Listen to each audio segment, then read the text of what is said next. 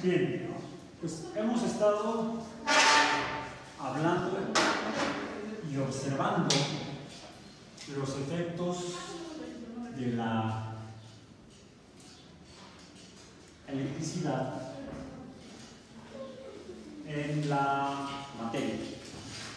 Eh, vimos que la electricidad se, observa, se observan los efectos de la electricidad como una fuerza. ¿Por qué es una fuerza? Porque es capaz de provocar cambios en la posición de cosas. Es una fuerza porque a un objeto que tenga masa m le provoca un cambio de posición en función del tiempo del reposo a una, a un movimiento medible con velocidad. Y este puede variar en función del tiempo. Si está en reposo, a movimiento pasa de una velocidad 0 a una velocidad n. Y por lo tanto hay un fenómeno de aceleración, distancia entre tiempo cuadrado. Esto es igual a aceleración, masa por aceleración. Esto debido a la fuerza, vamos a decir, fuerza eléctrica, F sub y La electricidad como fuerza es la fuerza eléctrica. Eh, es decir, la, la, podemos, podemos observar los efectos de la electricidad, pero no podemos observar directamente la electricidad. Eh, podemos observar eh, las fuerza, la fuerza gravitacional de los objetos que gravitan, pero no vemos la fuerza, vemos el efecto vemos que las cosas se mueven de arriba hacia abajo, gravitan.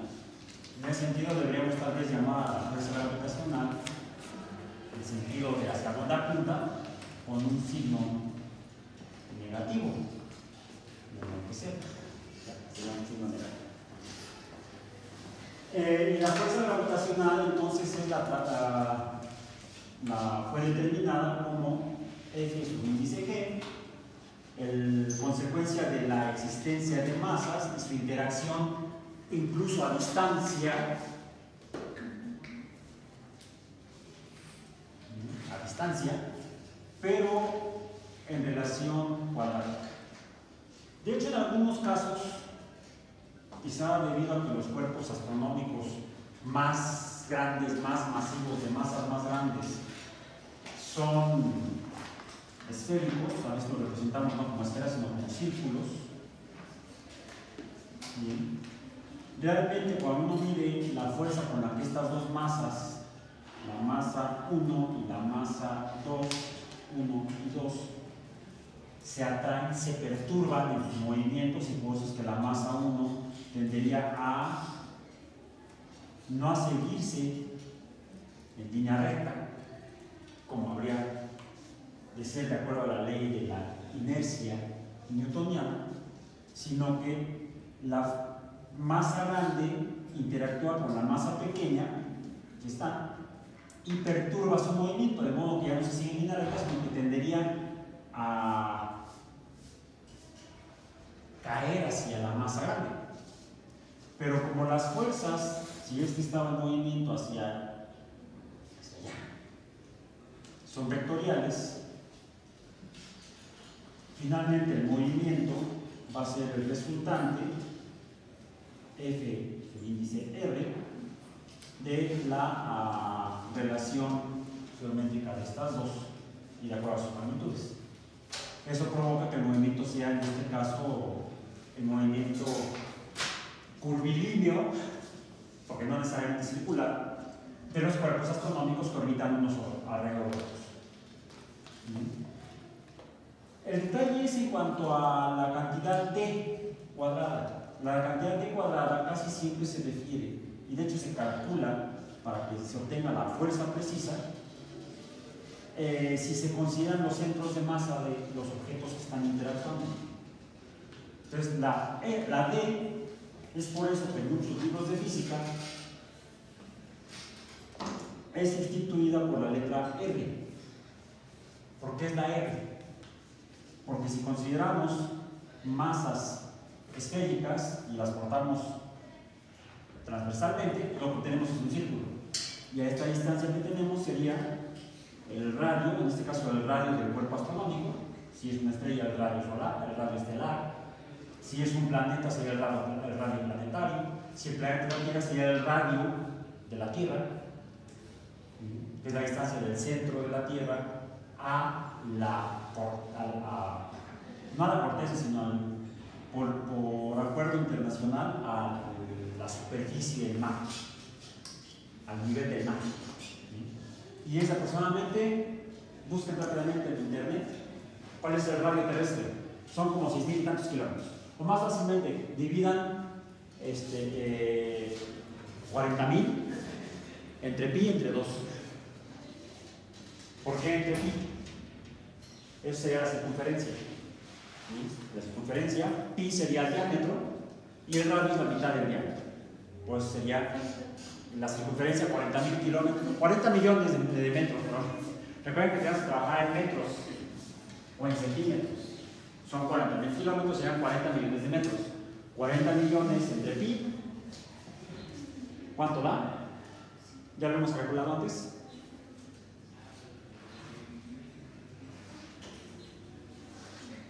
¿Cuál es el resultado numérico? Sí, 40 millones entre pi. Eh, y luego entre 2. 6 millones 366 mil 197. A ver, despacio. Tres millones. Este plumón ya, ya hasta aquí llegó. Todavía no sea bien tarde en clase de matemáticas, pero ya no, ya no el plumón negro hasta aquí llegó. Usemos ahora el verde como la Tierra. En el radio terrestre, R su índice T es igual, decías, a 6 millones 366 mil 366 mil 197. 197 metros. ¿Sí? Metros. Nos podemos ahorrar los centímetros. centímetros, más centímetros. Entonces, esta, esta R sería esta R, el radio terrestre. Pero, por ejemplo, si queremos conocer la fuerza con la que se atraen la Tierra, Tierra y la Luna, no debemos considerar la distancia entre superficies de la Tierra y la Luna, sino la distancia entre centros de masa, que es aproximadamente, es un poco mayor a 400.000 kilómetros. Entonces, y suponemos que la traslación o la órbita de la Luna alrededor de la Tierra podemos asumirla como si fuera circular. Realidad no es circular, es elíptica. Pero es una, la excentricidad de la elipse de la órbita lunar es relativamente pequeña, aunque sí se llega a apreciar eh, eh, cuando se observa con detalle y se mide el, diámetro aparente del, disco lunar, cuando está más cuando, cuando en la órbita elíptica está más cerca de la Tierra, sí se alcanza a apreciar medido un poco más grande el disco lunar que cuando está en la distancia mayor. Entonces, de esa manera se verifica que la órbita no es circular, sino que es elíptica. Podríamos calcular la distancia media, que sería el promedio entre la distancia, el radio mayor y el radio menor de la órbita de la Luna de la Tierra, y calcularlo aquí para calcular la fuerza con la que la Tierra y la Luna se atraen. Porque así como la Tierra atrae a la Luna, la Luna atrae a la Tierra. Sin embargo, el objeto más, eh, el objeto menos masivo estará comúnmente orbitando al más masivo porque la manda la masa. Esto lo explica posteriormente la interpretación de la gravedad, la teoría newtoniana, la teoría de Einstein, donde nos cambia el concepto de, la gravedad como fuerza a la gravedad como efecto de la fuerza. Consecuencia, sin embargo, de las masas. Ahí no contradice Einstein a Newton. Finalmente, los objetos se orbitan en función de las masas. Los objetos atraen o se afectan unos a los otros en función de las masas. Sin embargo, en el caso de la electricidad, ah, bueno, aquí vamos una cantidad. Una cantidad. Porque esto sería formalmente una proporcionalidad. Para transformar una proporcionalidad a una igualdad, debo introducir una constante de proporcionalidad, un número que me ayude a convertir esto en una relación numérica. En este caso es la constante de gravitación, la constante gravitacional. ¿Cómo la puedo conocer? ¿Cómo la puedo calcular? Hoy en día, ah, pues es fácil. Necesito yo dos, dos objetos de masa conocida, la Tierra y la Luna, medir la distancia entre ellas. Ah, tengo que hacer aquí un poco de álgebra. Eh, tendría yo que despejar G. Despejar G. Eh, ¿Cómo si despejo G, qué sucede? ¿O cómo le hago para despejar G? F índice G es igual a G por M1 por M2 entre R cuadrado. Ok. G a qué es igual. Divido ambos, eh, multiplico ambos lados por R. Entonces esta R no se cancela. Sería, más tendría que eh, multiplicar ambos lados por R cuadrada, no por R. R cuadrada entre R cuadrada es igual a 1 cualquier cosa entre una cosa igual es igual a 1, es igual a la unidad. No se cancelan, no se van a ningún lado, no es magia, no salió de la manga, ni siquiera la manga, simplemente es igual a 1. Entonces, tengo que multiplicar ambos lados por r cuadrado. Entonces me quedaría, E sería igual a f subíndice g por r cuadrada y la g está multiplicando al producto de las masas necesitaré yo dividir este producto entre el producto de las masas, M1 y M2. Y entonces así puedo calcular la constante gravitacional G. Y esto lo hizo Henry Cavendish. No lo hizo midiendo la Tierra y la Luna, sino lo que hizo fue conociendo, ya se conocía aproximadamente la masa de la, la, masa de la Tierra, y lo que hizo fue medir cómo, medir la fuerza que perturbaba a una masa, a un objeto de masa conocida. Tengo la masa de la Tierra, tengo un objeto de masa conocida, conozco la distancia que separa al objeto del, centro de la Tierra, aquí está la distancia, si lo levanto un metro más, será 6.366.198 metros si lo hago un experimento un metro sobre el nivel del mar. Si lo hago en la Ciudad de México, tengo que sumarme eh, 2.200 metros. Entonces aquí, la, la, el radio terrestre sería 6.368.397 metros. Es esta cantidad elevada al cuadrado. Mido la fuerza con la que se perturba. ¿Cómo? Aquí está. Mido cuánto se mueve y la aceleración con la que se mueve la masa perturbada por la Tierra. Y entonces puedo calcular, bueno, así lo hizo Cavendish, la constante gravitacional. Y obtuvo un valor, alguien día, profesor, ¿de qué tema no era electricidad? Sí, por eso pues estoy hablando de gravedad. Em, el valor de la constante gravitacional, anótenlo, es. Aquí lo tengo, aquí lo tengo. La constante gravitacional, ¿dónde me quedó la constante gravitacional? 6.7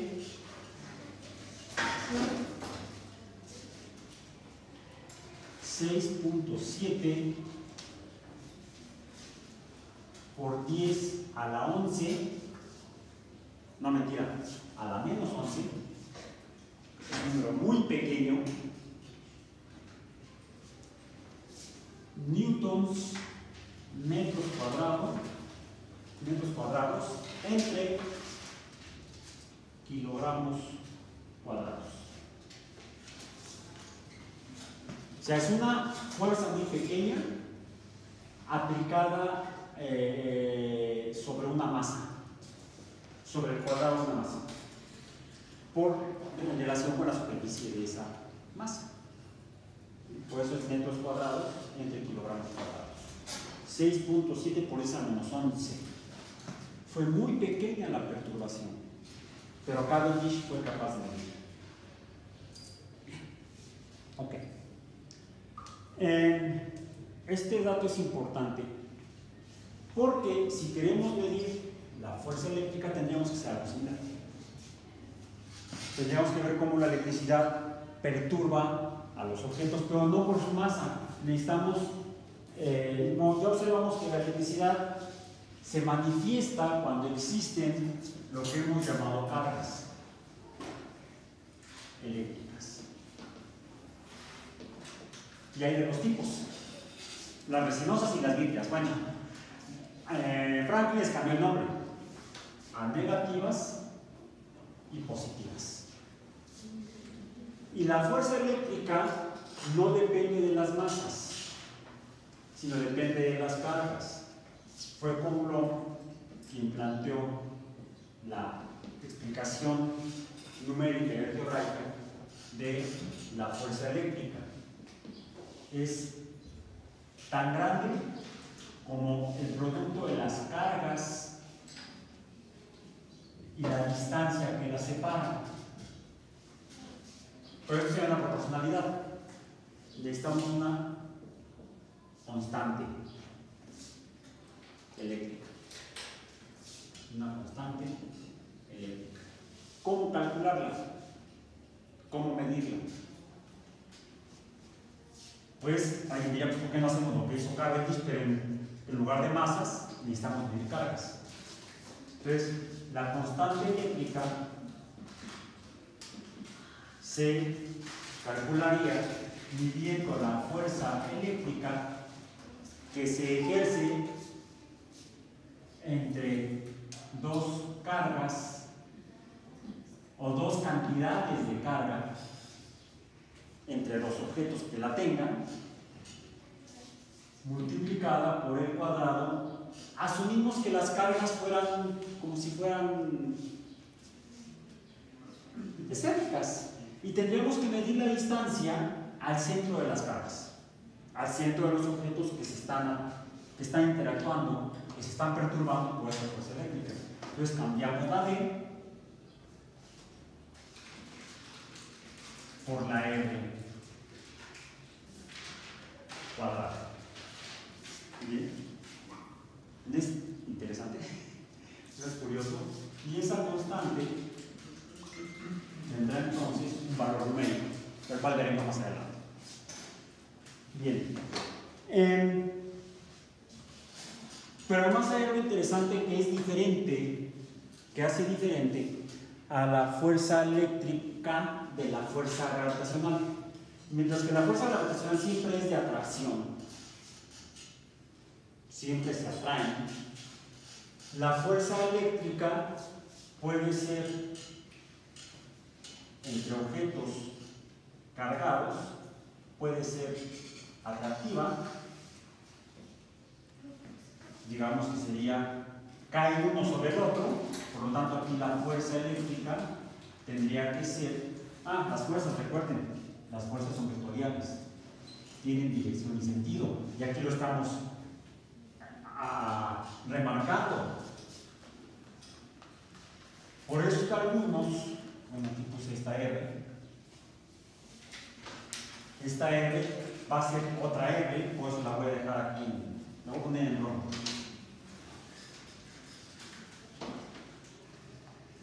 Aquí necesito otra R, que algunos la ponen como U, pero voy a poner mejor, como U para que no se confundan con tantas R's.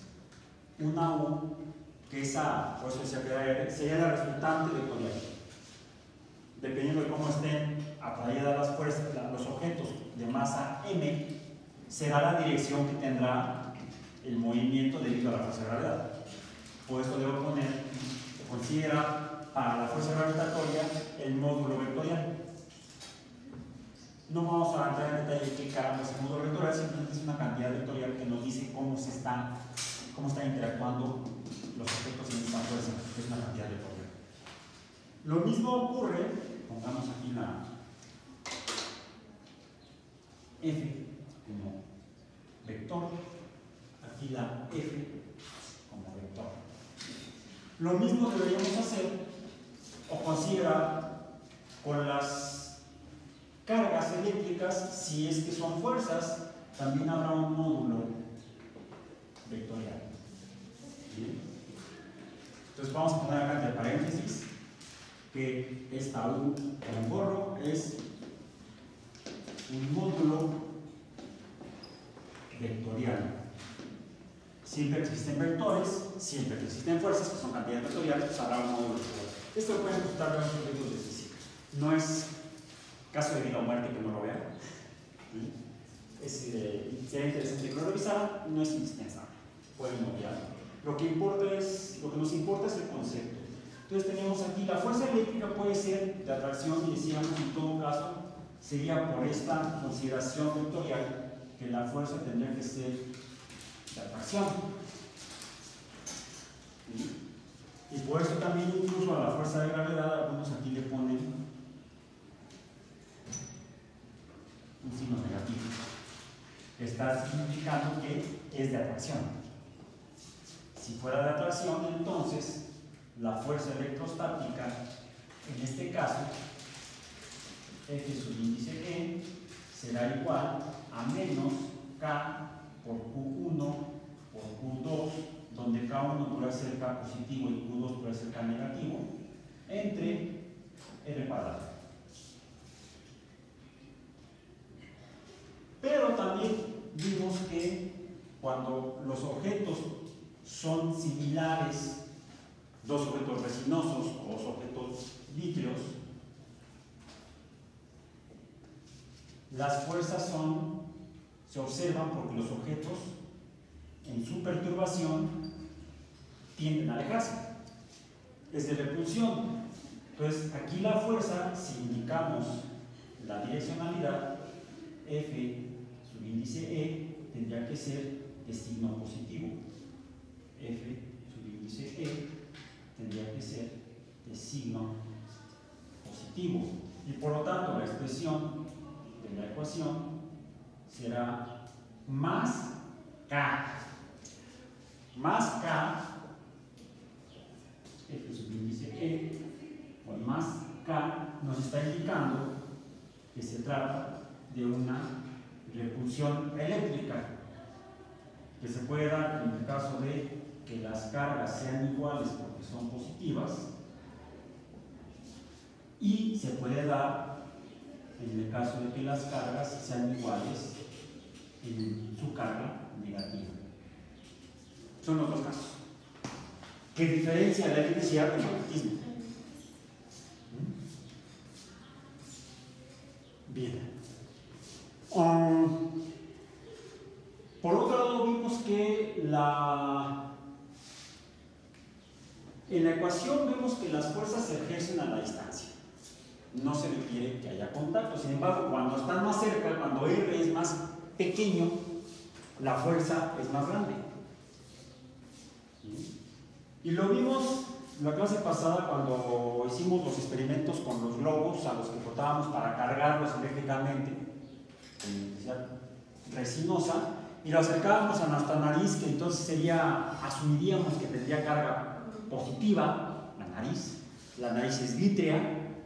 Entonces, aunque de un astrónomo uh, del siglo XVI, la nariz no era vítrea, la nariz era metálica.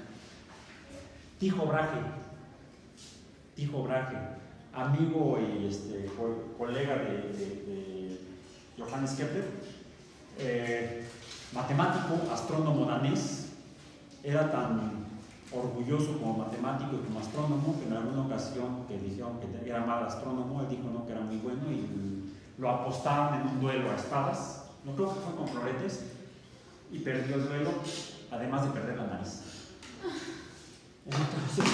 Eh, usó por el resto de su vida una prótesis de oro. También tenía mucho dinero. No tenía dinero, nariz, pues tenía dinero. Entonces se mandó a hacer una nariz de oro. Este, es por eso, además de por haber sido un excelente astrónomo observacional, hizo las mejores observaciones, las más precisas mediciones de distancias estelares antes de la invención del telescopio.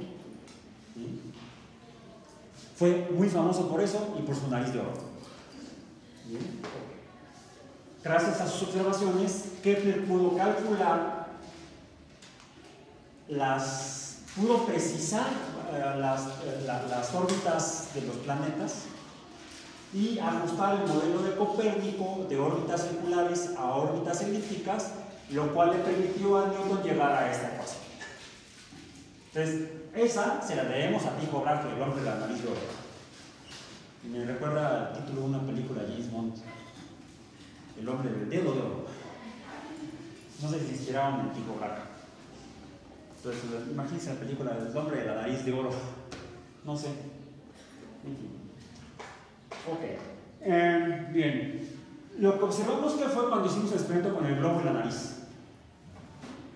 Que necesitábamos acercar a una distancia específica el globo a la nariz para que sintiéramos, sintiéramos la fuerza.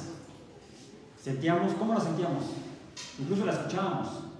Sería un pic. Era un pequeño trueno y desafortunadamente no estaba muy oscuro, pero si hubiera estado muy oscuro, hagan el experimento en su casa a la medianoche a la hora de las brujas. no hay brujas, pero sí lo van a ver son chispas. Si está muy, muy, muy, muy oscuro, si no hay ni media cosa que emita luz, ya está el experimento con su globo y lo acercan a la nariz, van a ver chispas enfrente de su nariz y van a sentir también el dolor en la nariz. Va a ser algo, una iluminación muy dolorosa. Pero divertido al final de cuentas. También cuando frotas la mano con la sábana, Sí. Pero depende, ¿de acuerdo cuando traigo mi, mi bufanda últimamente? Porque ya no es, no había sido necesario, ya está haciendo calor. Eh, pero depende mucho del tipo de fibra que estén usando. Se cargan más fácilmente algunas fibras que otras, dependiendo del material que están hechos. Entonces estamos llegando al punto que, que quería yo hablar en este momento. Finalmente parecería que eh, la electricidad no pasa fácilmente a, través del aire, a través de los gases pareciera que no pasa. En cambio, cuando hicieron el experimento con el electroscopio que ustedes armaron, ¿a qué distancia estaban las láminas de aluminio del objeto que acercaban al, al electroscopio? Varios centímetros, ¿no? Decenas de centímetros, podemos decir.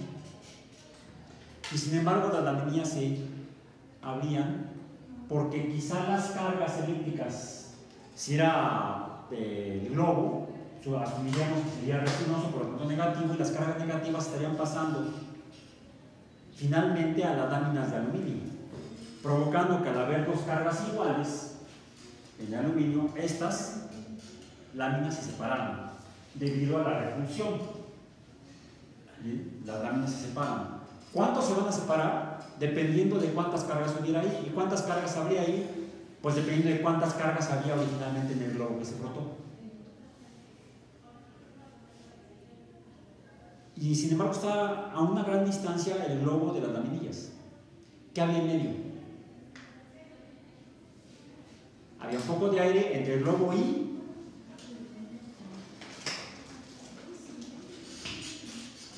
la antena de cobre. Usaban una- un- algo como una antena, un, un alambre de cobre.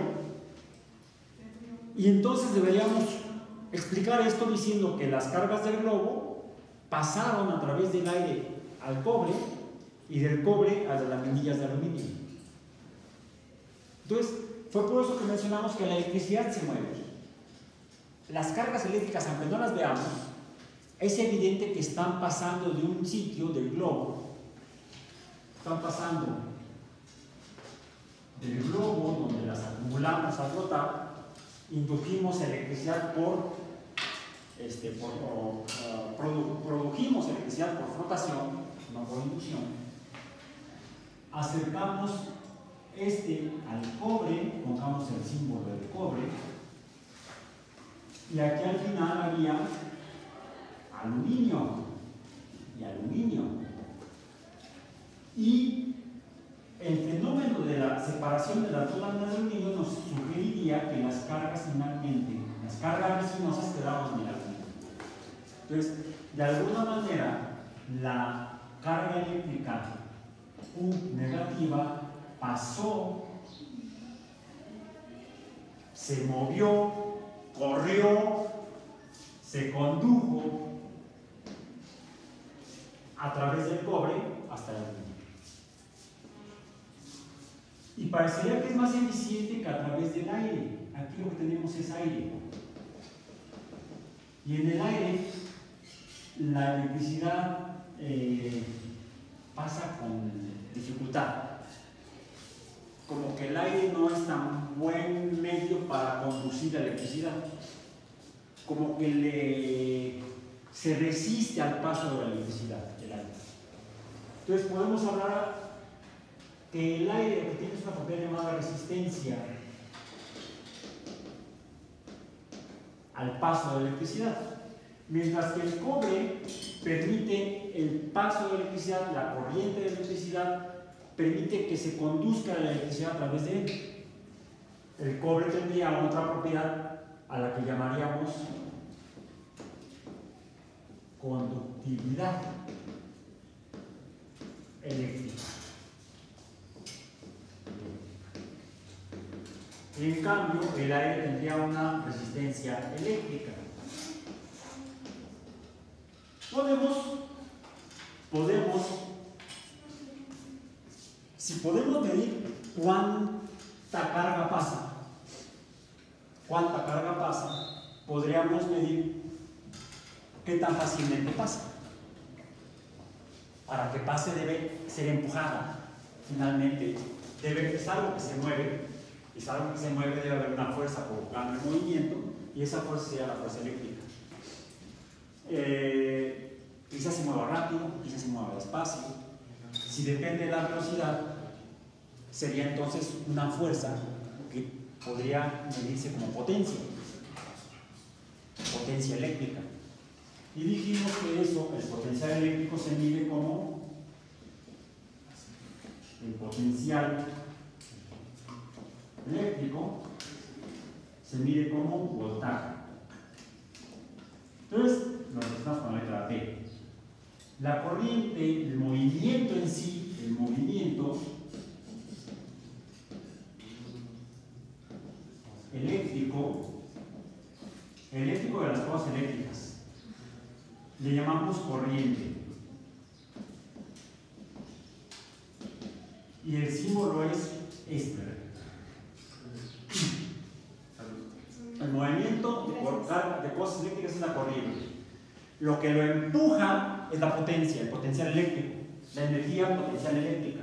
De hecho, la diferencia de potencial eléctrico y ese voltaje sería la diferencia, incluso vamos a ponerlo así, delta, diferencia de potencial eléctrico, es el voltaje. Pero la corriente se va a mover, la carga que se va a mover tan fácilmente o tan difícilmente como el medio lo permita. El aire no lo permite fácilmente. El cobre sí lo permite fácilmente, el aluminio también. Eh, entonces, estamos encontrándonos con tres cantidades. La diferencia de potencial eléctrico o voltaje, el movimiento de cargas eléctricas o corriente y la resistencia eléctrica o resistencia. Ahí se simplifican tanto los conceptos.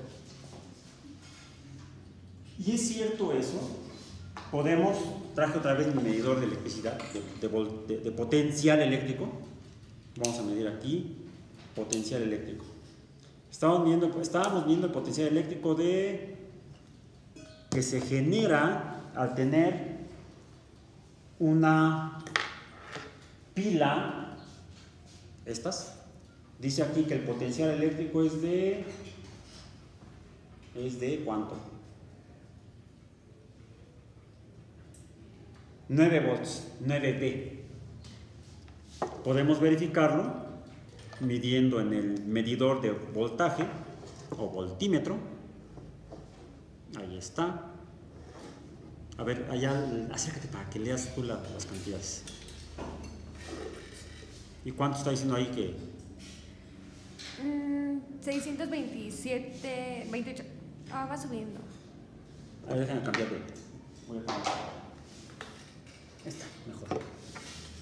A ver. 1130. Déjame Otra vez, cambiar, voy a cambiarla acá. Ahí está.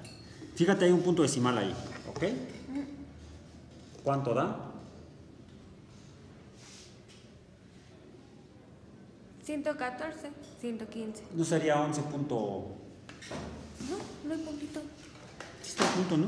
No. A ver, fíjate bien. Abajo. Ah, 11.6. 11.6. Se Me están regalando 2.6 volts. ¿El signo? ¿Positivo? ¿No le doy ningún signo? No, no se ve. Si la volteo, Es negativo ahora. ahora es negativo. Lo que hice fue cambiar la dirección. Aquí vemos dos cosas. Número uno, la cantidad de, la cantidad de potencial eléctrico. Decía que era 9 volts, en realidad no son 9 volts. Una pila, una pila de 9 volts me está dando en realidad un valor, decíamos, de 11.4 volts. Pero si este es el cátodo y este sería finalmente aluminio el ánodo, me estará indicando que la diferencia de potencial es la cantidad de cargas que hay acá arriba y, eh, menos la cantidad de cargas que hay acá abajo. Si volteo la, la- la- la dirección de la corriente, entonces va a ser la diferencia de la cantidad de cargas que hay aquí menos la cantidad de cargas que hay acá. Por lo tanto, entonces, si invierto la dirección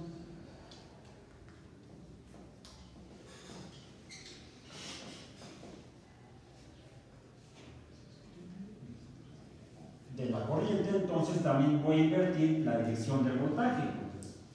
El, signo del voltaje, y entonces voy a tener menos 11 punto, ese 4 me quedó como 9 y no sé. Es un 4, están 4 en la alemana, 4 volts negativos. Bien. Dijimos que podemos dibujar esto así. Eh, de hecho, lo que tengo en la pila es un ánodo y un cátodo. Y están pasando del cátodo al ánodo las cargas negativas. Digamos que el cátodo sería como el globo y el ánodo sería el, este, el aluminio. Aquí no sé de qué está hecho esto, pero debe tener un cátodo y un ánodo. El cátodo dijimos que lo representamos así. Sería el ánodo. Y entonces las cosas cargadas se mueven en esta dirección a través de este espacio. Y se mueven hasta que llegan al medidor de voltaje y regresan. Y aquí estoy midiendo 9, entre, entre comillas 9 volts. ¿Sí? Muy entre comillas 9 volts. Ya no son 9, son 11.4. Si yo lo invierto,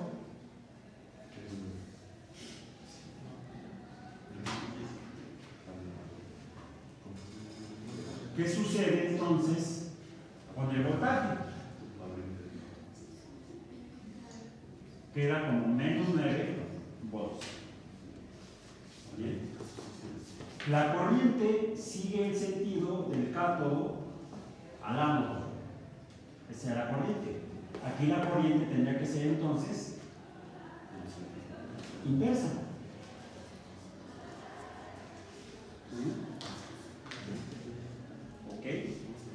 Y como es vectorial, la, el potencial eléctrico es energía potencial, como la energía es una, la capacidad una fuerza para realizar trabajo y las fuerzas vectoriales, entonces el voltaje es vectorial, tiene dirección y. Y tiene una magnitud, en este caso, de 9 volts. Si pongo yo dos,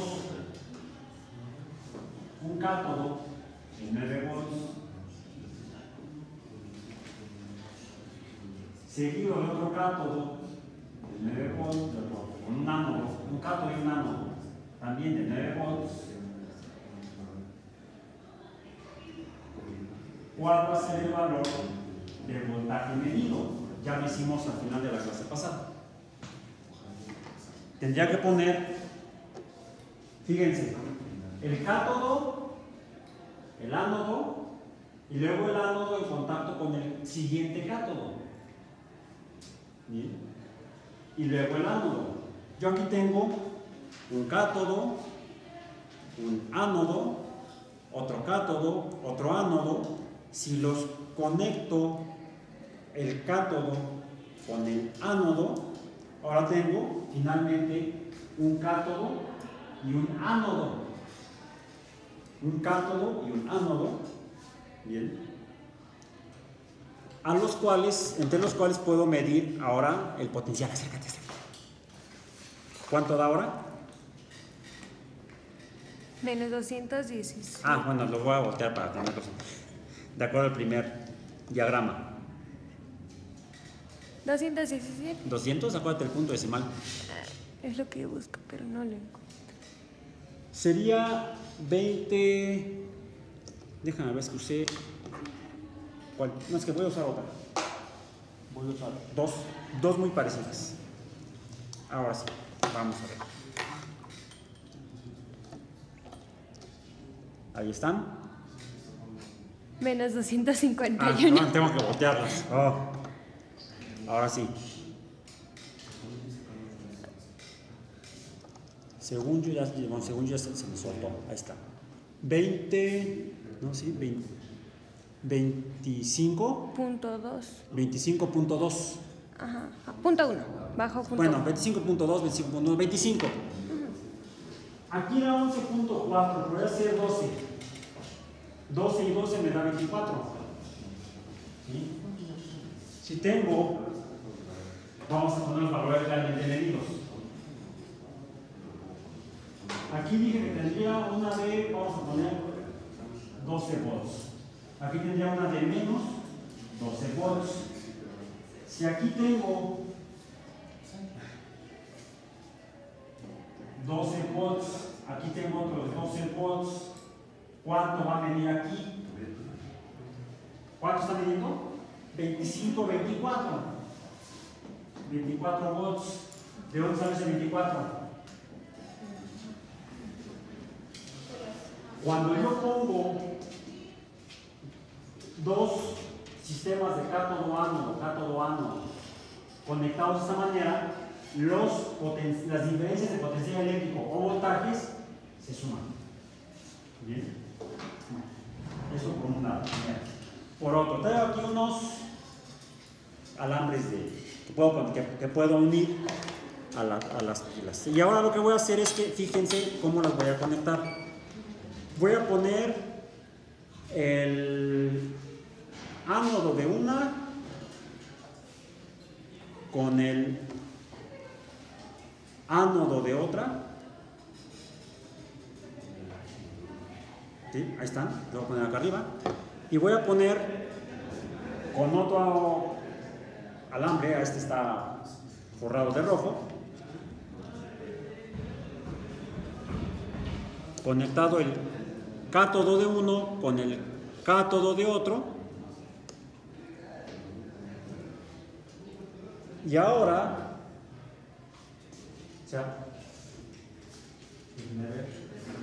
voy a poner uno.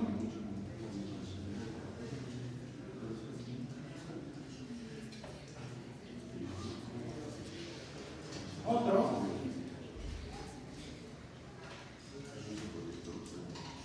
Y los voy a juntar al medidor acá. Bien, acá tengo, vamos a decir, 12 volts y aquí tengo 12 volts. La pregunta es cuánto va a dar aquí.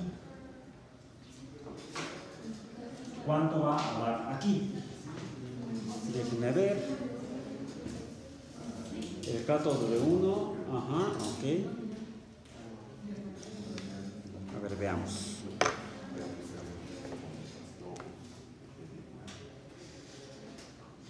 Tengo este aquí, con el rojo acá.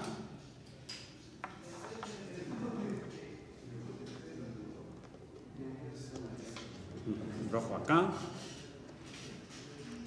Luego debo poner el. es así. Es que necesito más, más cables. Necesito más cables. Este por acá.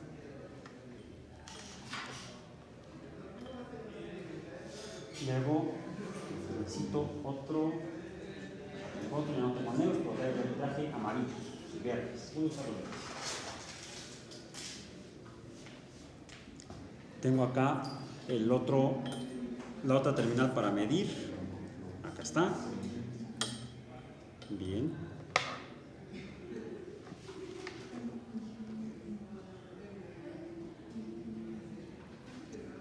Este de aquí. Este acá. Ajá. Este aquí. Este acá. Luego este aquí. Ay, se zafó.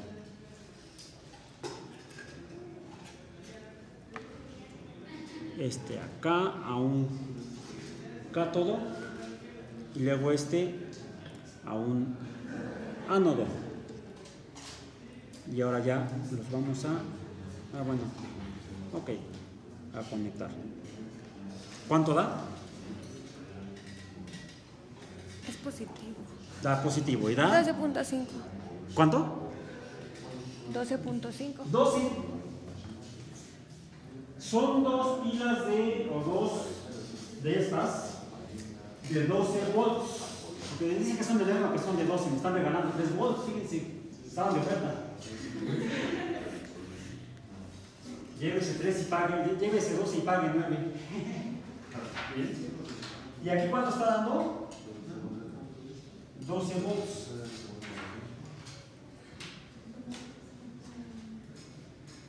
Es decir, no, no se suman. Están las pilas, están conectadas. Si no estuvieran conectadas, no estarían midiendo esto. Estarían, estarían dando cero. Y sin embargo, tenemos un valor. Vamos a poner esto aquí para compararlo. De voltaje igual a. Eran 24, ¿no? Aproximadamente. 24 volts. Tenemos dos formas diferentes de conectar el sistema, de por donde se mueven las cargas eléctricas. Esto se mueve así, esto se mueve así también. La corriente tiene esta dirección, la corriente tiene esta dirección. Estos diagramas es lo que llamamos, como es un diagrama que me muestra la electricidad moviéndose como en un círculo, a esto le conozco como circuitos. Circuitos eléctricos.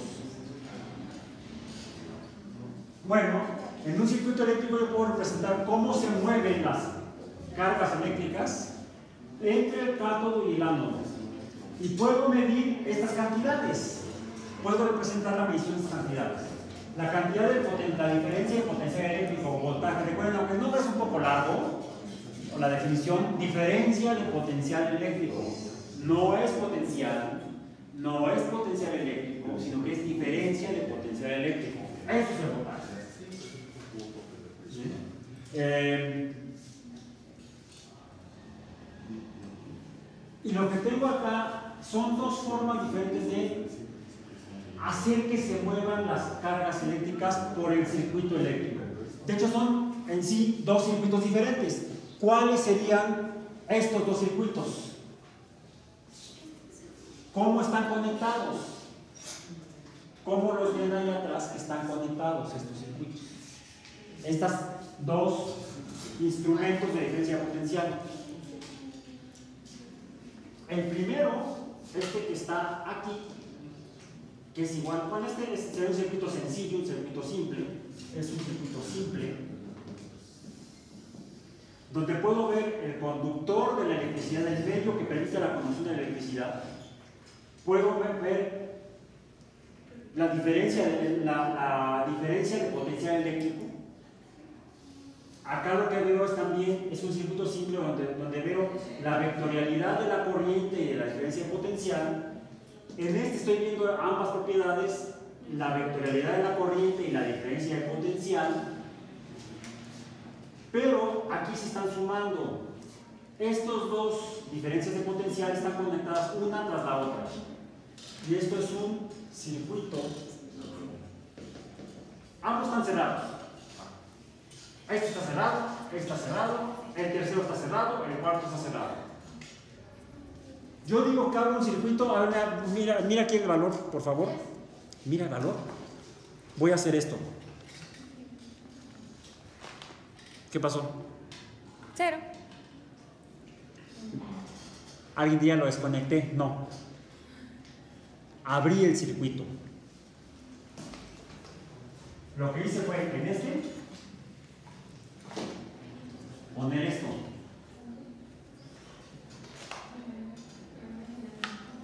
Esto es un interruptor. ¿Por qué se llama interruptor? Porque interrumpió la corriente. Interrumpió el movimiento de las cargas eléctricas, por eso se llama interruptor. Esto es un interruptor, en realidad son dos. Un interruptor, otro interruptor.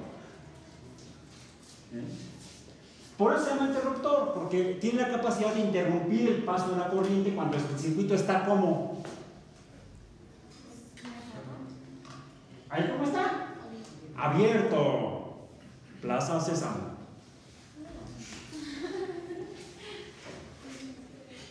Cerrado. Plaza Sésamo. Abierto. Cerrado. Y como diría Enrique, mi patito de hule, da tamaño diversión, mi patito de en el corazón. Bo, bo, bo. Ok, bueno. Hasta frases nos sirve para esto. Ok. Entonces, un circuito cuando hay corriente y hay un valor de voltaje medible distinto a cero, puede deberse a que el circuito esté cerrado. No, mentira. Está abierto. Si el circuito está abierto, no hay corriente y el voltaje es cero. Si el voltaje está cerrado, entonces hay una corriente eléctrica y podemos medir el potencial, la diferencia de potencial eléctrico entre los, eh, el cátodo y el ánodo. El cátodo y el ánodo entonces reciben el nombre de electrodos.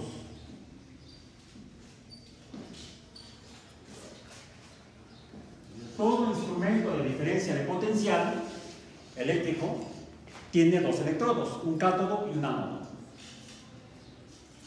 Un cátodo y un ánodo. El cátodo es el que dona las cargas negativas y el ánodo es el que recibe las cargas negativas. Lo que se mueve aparentemente entonces son las cargas negativas. Sería lo que brinca del globo a nuestra nariz.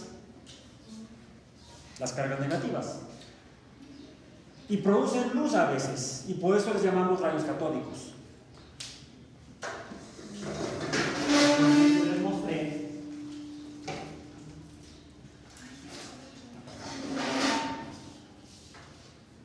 mi rayos catódicos diseñado por Bien.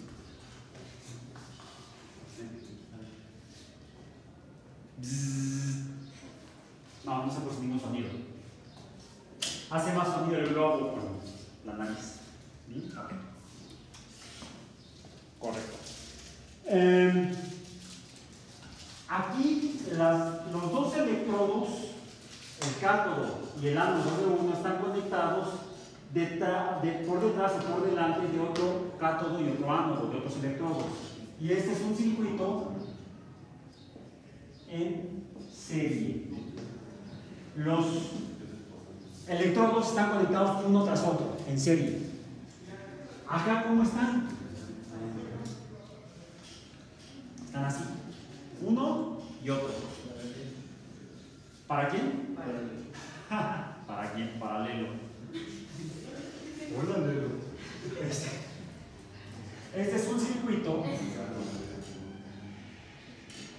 donde los electrodos están conectados en paralelo. Pero nos falta otro dispositivo que debemos, podemos poner en un circuito eléctrico para ver si, si hay movimiento de cargas eléctricas, eléctricas o no los hay. Ya vimos que podría pasar el globo a la nariz a través del aire. Voy a desconectar, bueno, voy a desatar estos dos y ¿qué pasa? No pasa. No, no pasa. Eh, a través del aire no pasa las cargas eléctricas tan fácilmente como lo vimos con el globo. El aire es un muy mal medio para conducir la carga eléctrica. Es un mal conductor. El aire más bien es un ambiente que se resiste, un material que se resiste al paso de electricidad. Por eso es, ofrece resistencia al paso de la electricidad. Le llamamos a la propiedad resistencia. Y al material que tiene una resistencia al paso de electricidad le llamamos resistor. Resistor, no confundir con la marca del pegamento. Ahí diría, PRI. No, el otro. ¿Ok? Entonces, el resistor es un material que ofrece resistencia al paso de la electricidad. También le llamamos, más en, palabras domingueras, dieléctrico. Dieléctrico. Y a la propiedad, resistencia. La propiedad es la resistencia, la resistencia al paso de la electricidad. El material es un resistor o dieléctrico. Y a, esa, propiedad también se le llama este, o es una, eh, es, es una, la dielectricidad es una propiedad de cada material dependiendo de cómo esté hecho, de cómo esté hecho a nivel de sus cosas más íntimas, sus partículas más íntimas. Eh, es por eso que hay una, es medible como una cantidad llamada constante dieléctrica de cada medio. En general lo que podemos medir antes de la medir la constante dieléctrica medimos la resistencia. Y hay una, hay una relación entre la resistencia, la corriente y, el, y el, la diferencia de potencial eléctrico La relación es esta. El voltaje es proporcional es proporcional a la corriente. Y también el voltaje es proporcional a la resistencia. La relación se da directa cuando el voltaje depende de la resistencia de la corriente. Del producto de la resistencia por la corriente. La corriente en coulombs, la corriente, ¿dónde está la corriente aquí? La corriente I se mide en coulombs. Es la unidad. Símbolo C. El potencial eléctrico se mide, eh, ese voltaje se representa con la letra E así, y la unidad es el volt, representado con la letra B. ¿Bien? Y la resistencia, la resistencia eléctrica, eh, se mide en ohms y el símbolo es la letra omega mayúscula. ¿Bien? Entonces, la resistencia se mide en ohms, la corriente en coulombs, mentira, coulombs no, la carga se mide en coulombs, me equivoqué aquí, corríjanme un lapsus tontos de mi parte. Amperes. La corriente se mide en amperes. Símbolo A. Coulomb es la carga. Coulomb es la unidad de carga. La carga Q se mide en coulombs y se representa con la letra C. Ahora sí, coulombs. Ok, bien. Bueno, vayamos moviéndonos. Entonces, si la propiedad de la corriente, de la resistencia y por lo tanto de la capacidad de permitir el paso de la corriente eh, depende del material, deberíamos poder medirlo en materiales diferentes. Bien. Podremos ver que hay materiales que no permiten el paso de corriente y otros que sí. Unos que fácilmente y otros difícilmente. Eh, hay una cantidad inversa a la resistencia que pocas veces se usa, pero en, en- en el caso de los fluidos biológicos con frecuencia sí se usa. En la física común, en la física de materiales, en la física cotidiana que hacen los físicos, miden casi siempre resistencia. En biología solemos, solemos medir el inverso de la resistencia. ¿Cuál sería? Lo opuesto a la resistencia.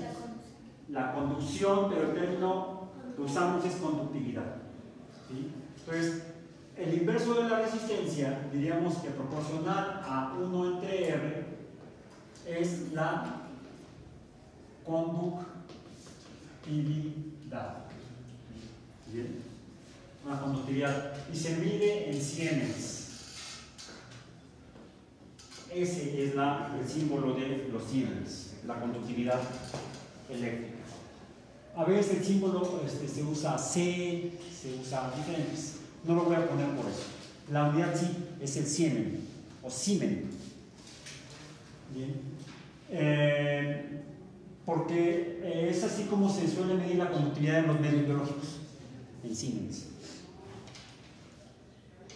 Entonces, hay medios que permiten el paso de la electricidad. Los medios biológicos, incluso hicimos un experimento eh, cuando vimos la, el fenómeno de dinámica, vimos que los medios, un, sistema, un, material con el que podemos hacer símiles a tejidos biológicos, el agua. Traigo agua. El agua es un conductor de la electricidad o, un resistor a la, electricidad. ¿Es un conductor? Deberíamos poder medir el paso de la electricidad a través del agua. Ya puse agua en esta copa. Aquí está la copa. Aquí está la copa. La voy a mover del lugar, fuera del lente de la cámara. Y voy a introducir, para cerrar el circuito, estos dos alambres en el, en el agua, aprovechando que tengo aquí mi sistema de dos pilas o dos fuentes de, de diferencia de potencial eléctrico en paralelo. No le he cambiado el circuito. ¿Cómo estoy seguro de que no lo he cambiado? Voy a cerrar el circuito, voy a, unar, a unirlos. ¿Cuánto mide? 13 puntos. 13, entre, entre 12 y 13 estaba, varía un poco. Si el agua es conductora, debería poder cerrar el circuito. ¿Sí o no? 12. Bueno, punto 3, pero 12. Si las alejo, disminuye, varía, es igual, Varía por muy poquito. varía por muy poco. Ahí estoy midiendo el potencial. El potencial me está haciendo evidente que sí está pasando. El, voy a tratar de medir la corriente. Corriente directa. Vamos a ver. Debería yo poder medir la corriente en el circuito. ¿Sí me dan valor ahí? ¿No? El multímetro estaba fallando un poco. Déjenme ver.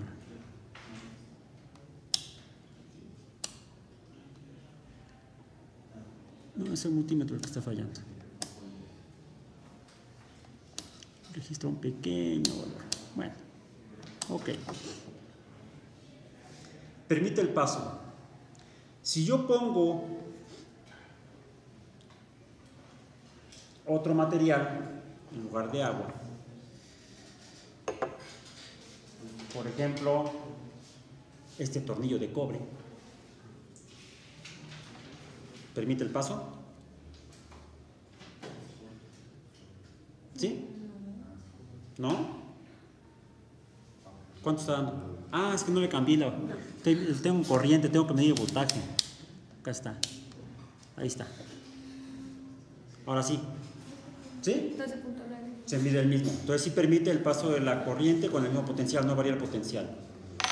Voy a poner ahora un clavo de hierro. Hierro.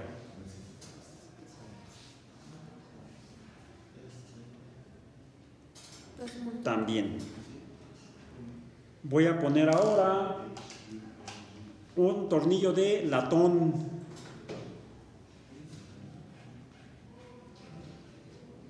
También. Voy a poner ahora, ah, todo esto lo encontramos observando la electricidad cuando trabajamos con sustancias, con materiales resinosos, como el plástico. Tengo aquí un fragmento de plástico, de hule, material resinoso. ¿Y ahora? Resulta que el material con el que descubrí la electricidad es un mal conductor de la electricidad. Los plásticos, los materiales resinosos no son buenos conductores de la electricidad. ¿Y el vidrio? Vamos a ver. Voy a tomar la copa pero sin tocar el agua.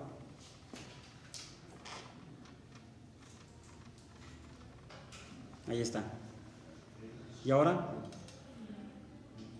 Tampoco. El vidrio, los materiales vítreos y los materiales resinosos son no conductores. Son dieléctricos. Son dieléctricos. Ok. Entonces, em, revisamos rápido. Ah, el cobre. El cobre. Ah, ya lo hicimos con el cobre. ¿eh? El aluminio. Tengo aquí aluminio. Aluminio. Vamos a ver. Aluminio. Aquí está. Aluminio, aquí está. Y. Sí, también. El aluminio también es un buen conductor de la electricidad. Entonces tenemos dos tipos de materiales, básicamente. Conductores y dieléctricos. Los muy dieléctricos, los muy resistentes, de hecho, como el vidrio y como el, con los materiales resinosos como los plásticos, los polímeros plásticos, de hecho llegan a ser aislantes. Cuando la característica dieléctrica o de resistencia es muy, muy grande. Entonces no permiten el paso de la electricidad. Si los ponemos en medio de un circuito, a las resistencias las representamos de esta manera.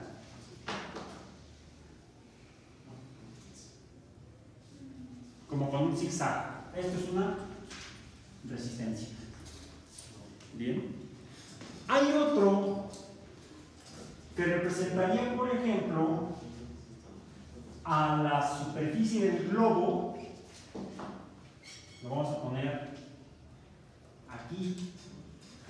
Este sería el globo. Y esta sería la nariz.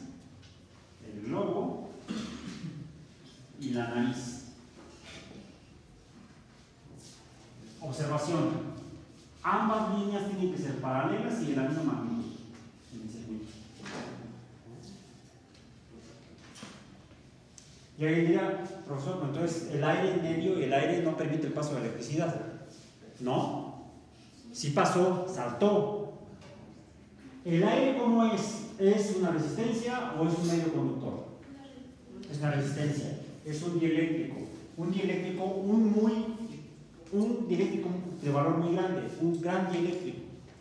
Pero sin embargo llega a pasar, lo sentí y lo vimos, lo, sentí, lo sintieron ustedes, cuando que sí pasa la electricidad a partir del aire, venciendo la, la, característica de resistencia o aislante del aire. A eso le llamamos cuando la electricidad pasa a través de este, este medio, el cual es un aislante, un dieléctrico, cuando la electricidad pasa, si la electricidad pasa, es como si rompiera la resistencia del aire al paso de la electricidad. Por eso se le llama rompimiento dieléctrico. Y sucede cuando tenemos estas cosas que representamos así. Finalmente, ¿por qué pasó la, la electricidad del globo a la nariz? Porque teníamos una gran cantidad de cargas en la superficie del globo. Muchas. Por eso, los- mientras más lo flotábamos, incluso sentíamos el, o escuchábamos la- el, el sonido y sentíamos el, el- el- el impacto o la electricidad en la nariz de manera un poco más dolorosa, vamos a decir. Cuando, cuando caen los, los truenos, ¿pasa eso mismo? Sí, pero en grandote, a lo bruto. ¿Sí? Muy grandote. Aquí lo que estamos haciendo es que estamos acumulando cargas eléctricas. Esto, esto es un capacitor.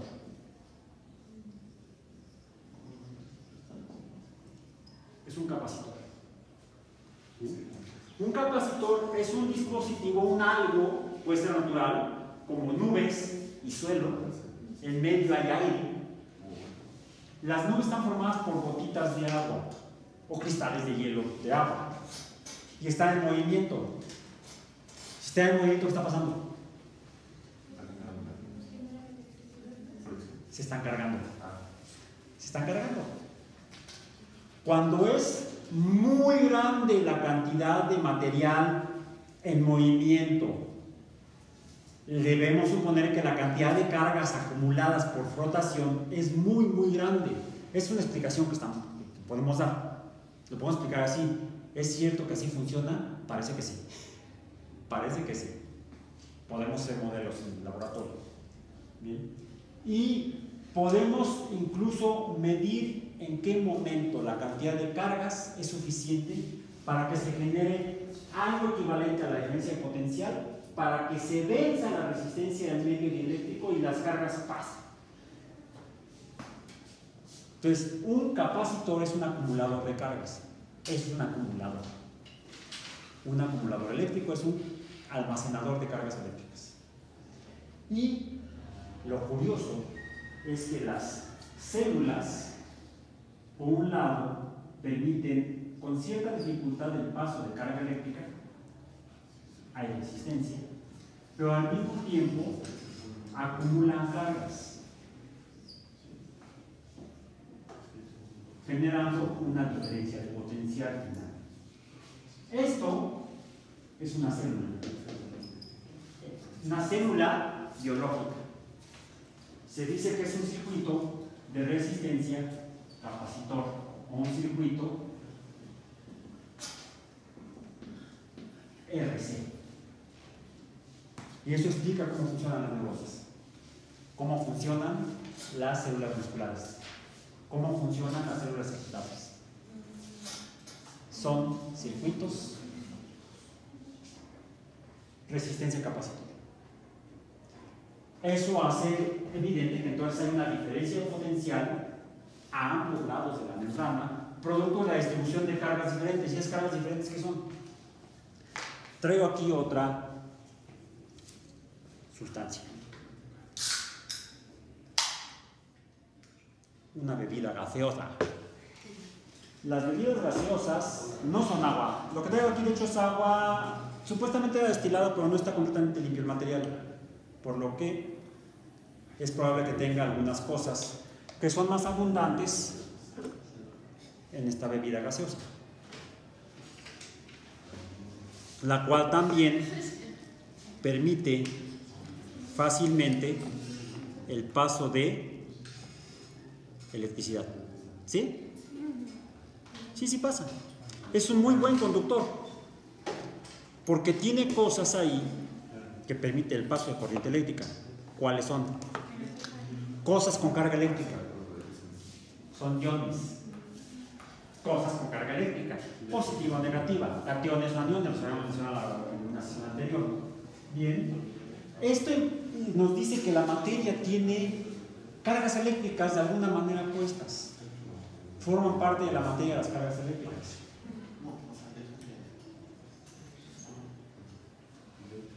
Y hay un último detalle de esto.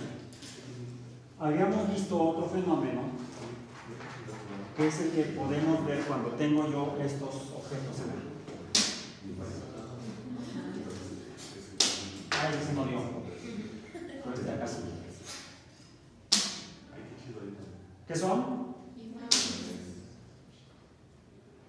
¿Le vieron?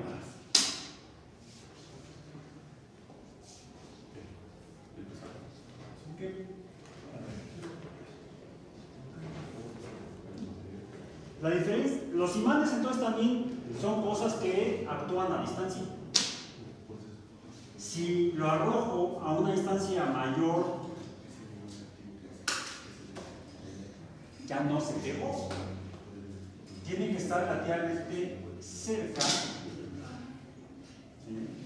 para que entonces pueda haber una fuerza de atracción.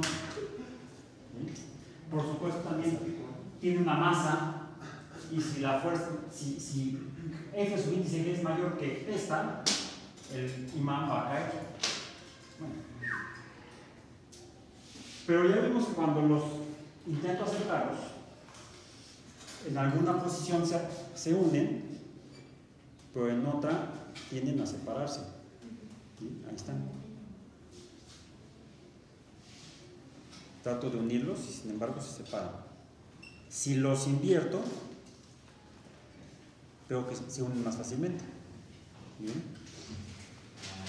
La fuerza, entonces hay una fuerza llamada fuerza magnética. Fuerza magnética que también tiene una magnitud medible y también vemos que tiene dirección. Estos son imanes muy pequeños. Podría yo usar imanes más grandes y entonces encontrar que la descripción de la fuerza magnética, ¿por qué fuerza? Porque es capaz de mover cosas. Tengo aquí un imán.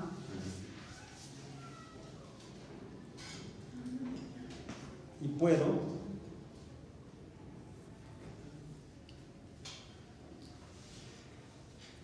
¿Sí vieron cómo se movió? Saltó. Oh.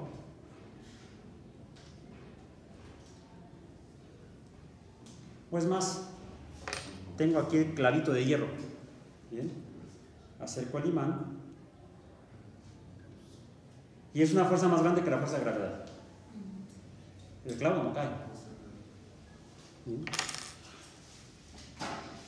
Entonces veo que hay una fuerza a la que puedo llamar yo F sub índice M, fuerza magnética, que dependería de la magnitud de los objetos con, con, magnetismo y también depende de manera inversa del calor de la distancia. Habrá aquí una constante, llamemos de M magnética, una constante magnética.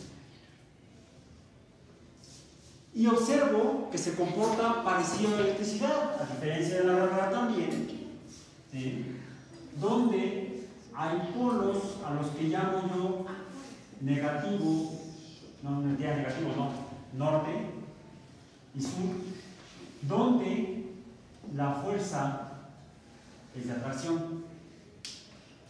Aquí la F sub índice M será menor que cero. Pero cuando los polos son iguales, Pn junto a un Pn, hay, como en el caso de la electricidad, cargas iguales, hay repulsión. Fm será mayor que cero. Si pongo Ps junto a Ps, también hay repulsión. Y entonces también la fuerza magnética de repulsión será positiva. ¿Cómo puedo yo calcular la constante, esta constante m?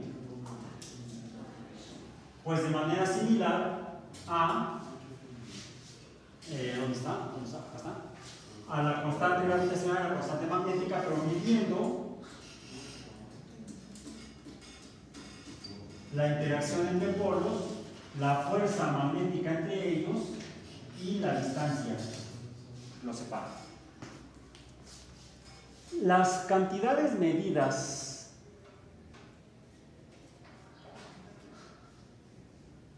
son para la constante eléctrica esta, 9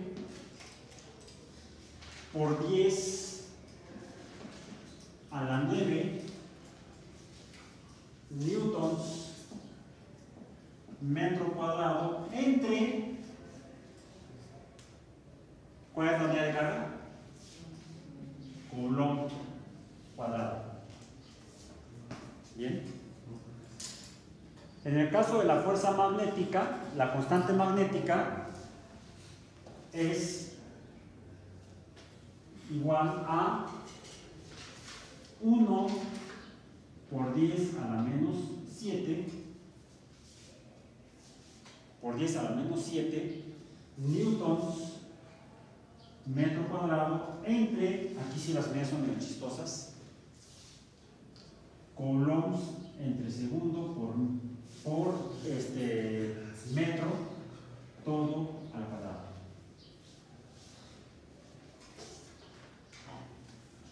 Coulomb entre segundo por metro, Coulomb, ¿por qué Coulomb?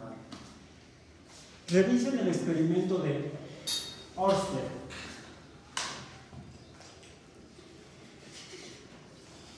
En YouTube. Busquen ese nombre. Experimento de Ørsted. El experimento de Ørsted nos permitió, o le permitió a él, nos permitió a nosotros, observar que hay una relación entre la electricidad y el magnetismo. La electricidad y el magnetismo están íntimamente relacionados. La electricidad, la corriente eléctrica a través de un conductor, demostró Ørsted por este experimento, es capaz de producir magnetismo.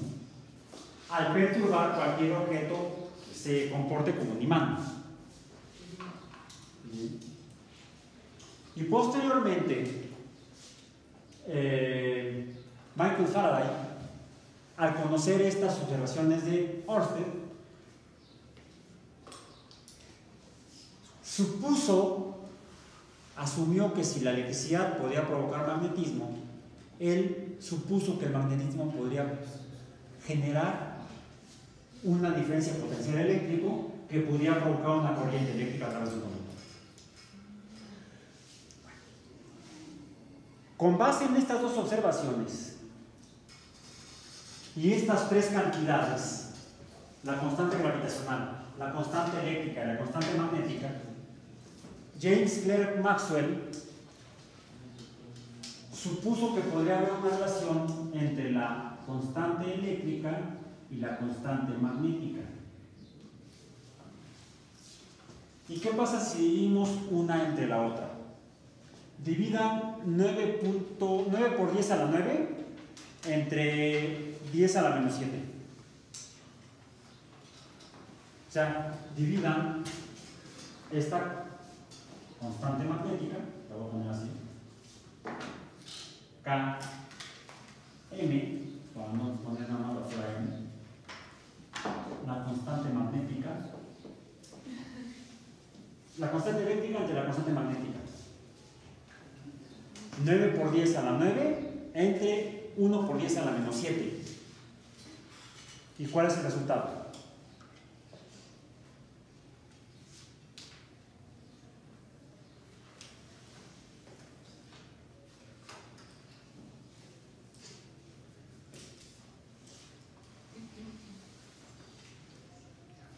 ¿Cuánto les da?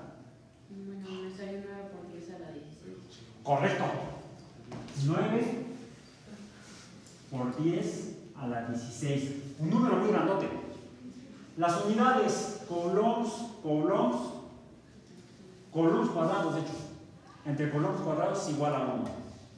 Nos queda finalmente metros cuadrados entre segundos cuadrados. Si a eso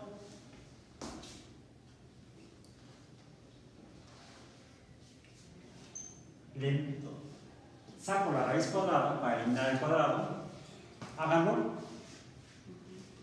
¿Qué queda? 300 millones. Bueno, pues 300 millones. Bueno, 10 a la pues, 4. 3 por 10 a la 8 metros entre segundo. O